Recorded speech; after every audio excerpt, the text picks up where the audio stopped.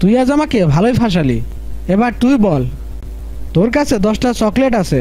তুই তিনটা চকলেট রিনি মিলি আর মিনাকে দিলি। তাহলে তোর কাছে কি থাকল?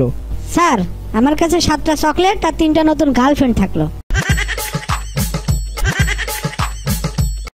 স্যার প্রতিদিন তো আপনিই প্রশ্ন করেন। আজকে আমি আপনাকে একটা প্রশ্ন করি? আচ্ছা ঠিক আছে বল। স্যার ঢাকা ইউনিভার্সিটির সংক্ষিপ্ত রূপ ডিইউ। ইসলামিক ইউনিভার্সিটির সংক্ষিপ্ত রূপ আইইউ। তাহলে নাসির উদ্দিন ন্যাশনাল ইউনিভার্সিটির সংক্ষিপ্ত রূপ কি হবে স্যার? No no.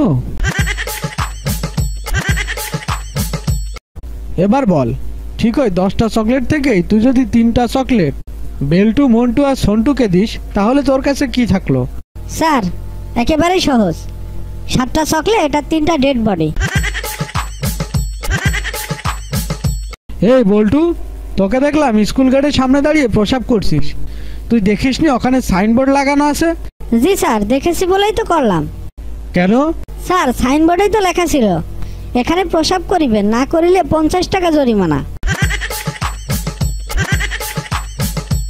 বল্টু বল তো বাংলাদেশের ওজন কত কেজি?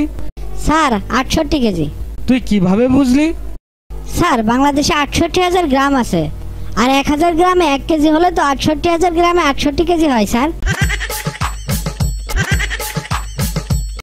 আচ্ছা বল্টু দুটো মেয়ে দাঁড়িয়ে দাঁড়িয়ে আইসক্রিম খাচ্ছে। তুই দূর থেকে কীভাবে বুঝবি কোন মেয়েটি বিবাহিত? স্যার যে মেয়েটি পুরোটা আইসক্রিম মুখে নিয়ে খাবে সেই তো বিবাহিত। আচ্ছা বল্টু বলতো ম্যাগনেট কাকে বলে? স্যার ম্যাগনেট দেখতে চকচকে আর এর মধ্যে এক ধরনের চৌম্বকীয় শক্তি বিদ্যমান। Good good. একটা উদাহরণ দে তো। স্যার যেমন আপনার টাক মাথা।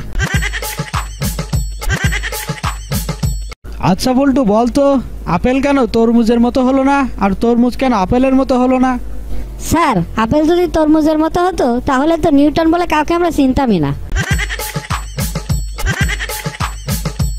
বল্টু তোর বাবাকে চিঠিতে বলেছিলাম বেতন দুইশো টাকা।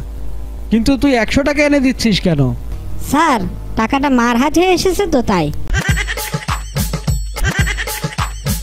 হ্যালো বন্ধুরা এখনও যদি চ্যানেলটি সাবস্ক্রাইব করে না থাকো, এখনই করে না তোমাদের ইন্সপিরেশনই আমাদের পথ চলার শক্তি।